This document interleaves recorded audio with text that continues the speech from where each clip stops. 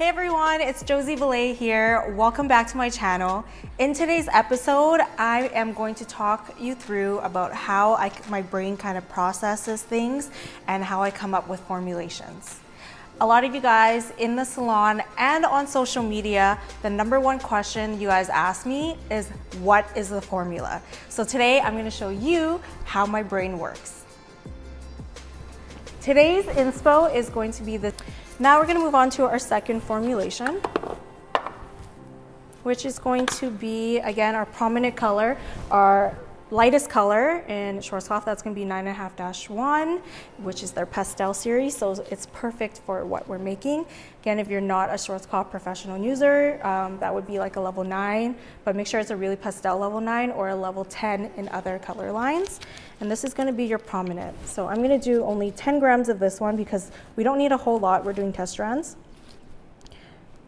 And again, make sure you write down what you mix so that you know what to mix after your client is done processing. Okay, and then I'm only gonna do one gram this time of the 0-88. 0-88 has become one of my favorite colors actually to use in my formulations. It's super pretty, even with my platinum blondes. If you follow me on Josie Vilay on Instagram, you'll see one of my favorite formulas on there that include red. I know, it sounds crazy. All right, now we're gonna mix in our secret sauce. So we did uh, one gram of 0-8. I'm probably gonna add, I'm gonna do five grams this time because I want it to be a very muted pink, giving me a total of 16 grams. So we're gonna do equal parts of developer, 16 grams of our developer making sure you really get that booster separated with your whisk because there's nothing worse than seeing those little red spots on your colors, especially when you're doing fashion colors like this. Okay, nice, a new clean brush. And we're just gonna go again root to ends.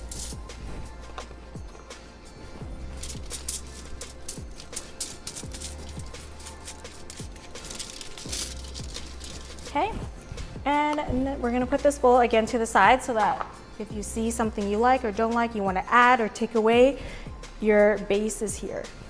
Right, so now I'm gonna take a look at the first one I've done. It's been about five ten minutes since time has passed by. And when I do this, I always make sure I have a towel on hand, just so that I'm kind of just giving it a little squish so we can see what it looks like. And look at that. It's already depositing so nice, so beautifully. But I do find it, to me, that's the perfect depth that I'm seeing in this rose. But I do also would like a lighter version of itself here. So what I'm going to do, it's super simple, is I'm just gonna grab that first formula. I'm gonna grab another bowl. I'm gonna add some of that formulation into here.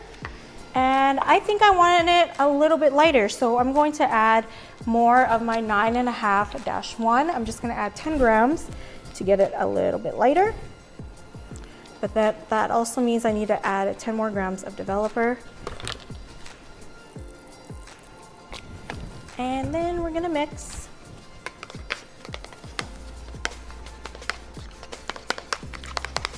And this will be, I'm gonna try and make our lightness with this formula here.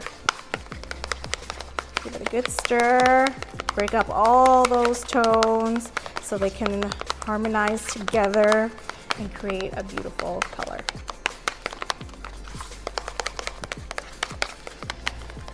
All right.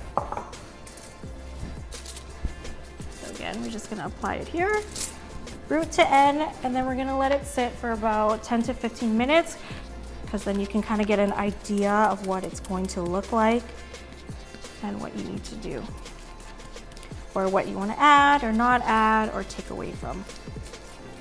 Okay, so we're just gonna let these formulate and then I'll show you guys the finished results. All right. So